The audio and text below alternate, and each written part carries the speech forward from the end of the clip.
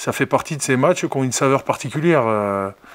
je parlais des phases finales, mais il y a une saveur particulière, il y a un contexte.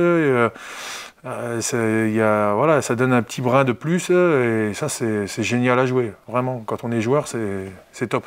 Il faut se dire que tous les gens qu'on ne voit pas en face de nous, ils sont derrière nous, devant leur écran. Et, euh, voilà, j'espère que samedi, l'équipe de Castres, eh ben, elle rendra fier ses supporters. Voilà, parce qu'on va jouer pour eux. Euh, on sait qu'en ce moment, c'est dur pour eux parce que parce qu'ils ont mis de l'argent pour payer leur abonnement, pour pouvoir voir des matchs, pour pouvoir supporter leur équipe qu'ils aiment. Et, nous, aujourd'hui, eh ben, malheureusement, de par euh, le contexte, euh, on joue dans ce stade, mais sans eux. Quoi. Nous, ça nous fait de la peine. Et ça nous fait aussi de la peine de voir qu'eux, on les prive de, leur bonheur, de leur passion, quoi, de venir nous supporter.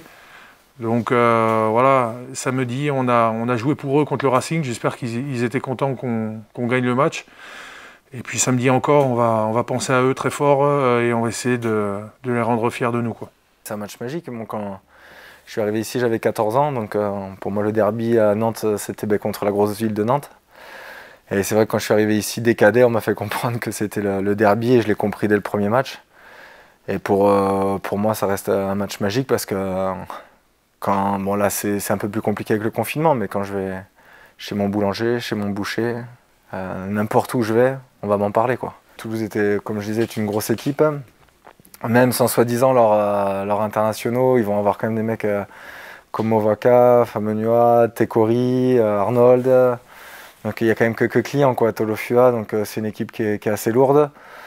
Donc si, on met pas du combat, c'est vrai qu'on dit souvent Toulouse est une équipe qui joue beaucoup à la main, c'est vrai, mais attention devant.